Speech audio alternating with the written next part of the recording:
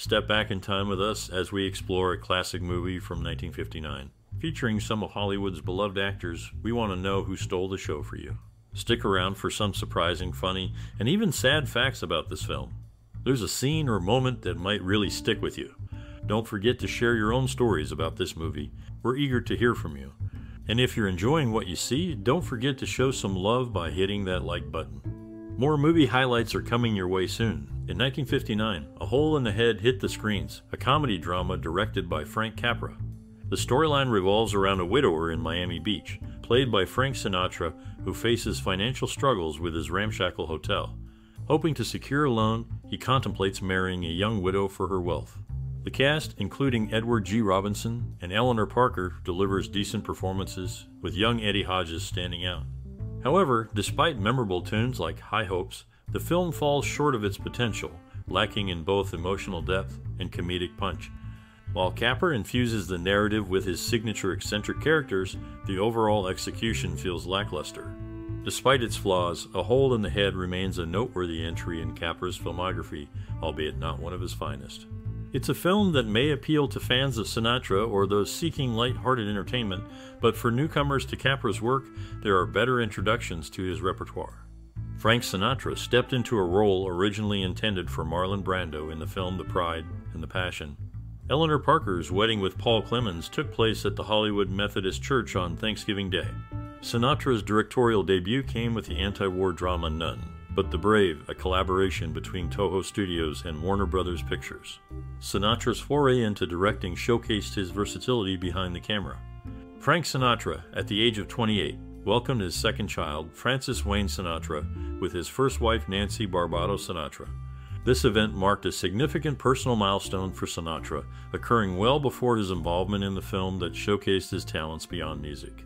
The production company behind this film, SinCap, represents a creative blend of Sinatra's and director Frank Capra's last names.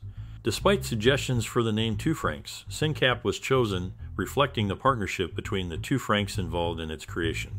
The film's song High Hopes gained notable recognition, earning a nomination among the American Film Institute's 24 list of 400 movies for America's greatest music in the movies. This nomination highlights the film's contribution to the cinematic and musical landscape, underscoring the enduring appeal of its soundtrack. Isn't it fascinating how someone's setbacks can lead to incredible comebacks? Take, for example, a certain individual in the entertainment industry. Despite facing vocal cord issues in 1953, he returned to the stage with even more impressive singing skills, much to the joy of his fans. Hosting the Oscars four times added to his legacy, showcasing his versatility beyond his musical talents. Interestingly, his retirement announcement coincided with a prestigious humanitarian award, underscoring his commitment to giving back. These anecdotes highlight the remarkable journey of those involved in this timeless classic.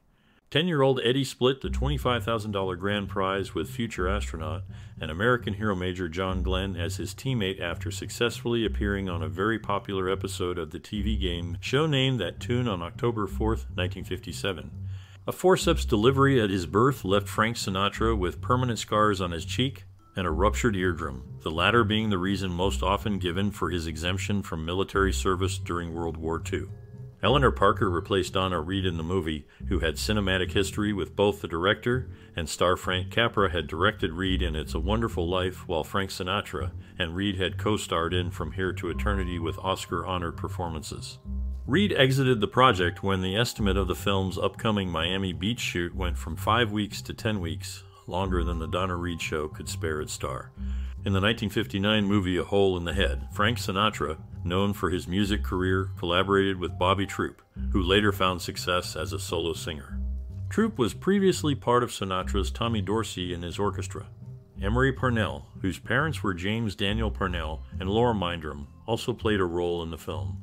Carolyn Jones, recognized for her appearances in culturally significant films like The War of the Worlds, A House of Wax, The Big Heat, Invasion of the Body Snatchers, and How the West Was Won, contributed to the cast. Her roles in these movies have been acknowledged by the Library of Congress. Overall, the movie brought together talents from various backgrounds, contributing to its cultural significance. In a classic film featuring an ensemble cast, a group of talented actors showcase their skills, leaving a lasting impression on audiences. One standout performer introduced a captivating coin flipping move, inspired by another famous actor's signature gesture. Despite past conflicts, this actor and his counterpart collaborated seamlessly, contributing to the film's success.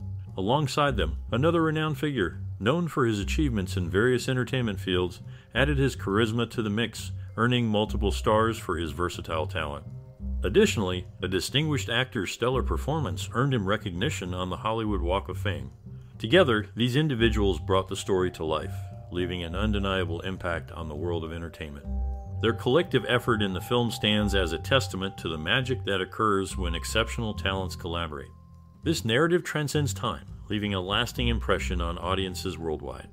In the film, Frank Sinatra initially considered Barbara Nichols for the role of Dorine, but ultimately cast Joi Lansing, sparking an on-set romance that lasted beyond filming.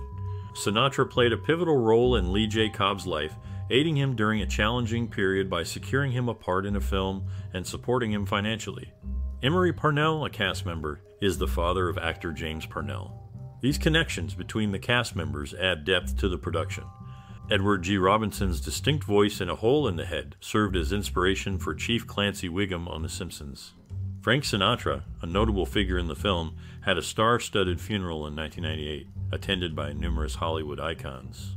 During a BBC interview in the 1950s, Sinatra made it clear that questions about his personal life, particularly his relationship with Ava Gardner, were off limits. The focus remained on his music and career as requested by the respectful interviewer David Jacobs.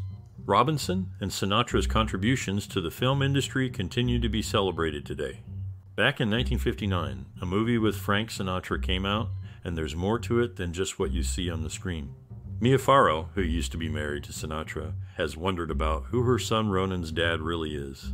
Even though Ronan looks a lot like Sinatra, some people say Sinatra couldn't be his dad because he had an operation so he couldn't make babies. Behind the scenes, there was some drama with the writing of the movie. Even though Arnold Schulman was the main writer, the director, Frank Capra, got someone else, Miles Connolly, to help fix up the script. You can see Connolly's influence in the part with the racetrack, which wasn't in the original play. Sinatra was also part of a famous group called the Rat Pack with other big stars like Dean Martin and Sammy Davis Jr. They acted together in a couple of movies like Ocean's Eleven and Sergeant's 3. All these behind the scenes stories make a hole in the head more interesting than just a movie. It's like a peek into the lives of famous people and how they work together to make something cool.